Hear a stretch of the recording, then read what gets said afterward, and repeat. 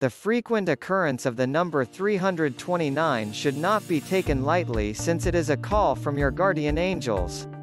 By sending you this sign, they are telling you to proceed with its interpretation, for you will be able to discover there the message which they are sending to you personally. If you want to know the message from the angelic realm, continue reading. Here you will find the full meaning of the number 329.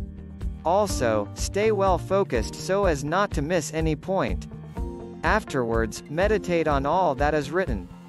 Through the number 329, the angelic realm asks you to believe that the ascended masters are helping you achieve your divine life goal, and that is what they are doing. It also tells you that this number is an inspiration to finish a project that you had put off. Let go of the things that no longer serve you positively. The angelic number 329 prompts you to have confidence in your talents and abilities as a lightworker, and to use them wisely. Trust angelic guidance in all aspects of your life mission and continue your wonderful lightwork. You help others by living in an exemplary way, in a positive way, by shining your love and your light on the world. Always choose to take the path on which you can do the most good in the world.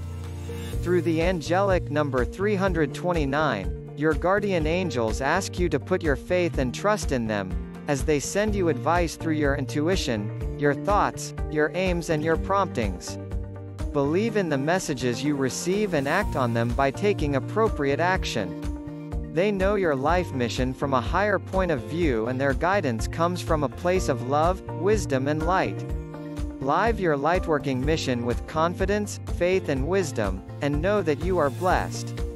The angelic number 329 is a mixture of the energies, vibrations and attributes of the numbers 3, 2 and 9. The number 3 brings communication, optimism, expression, enthusiasm, skills, friendliness, talents, growth, sociability, expansion and development, while resonating with the energies of the ascended masters.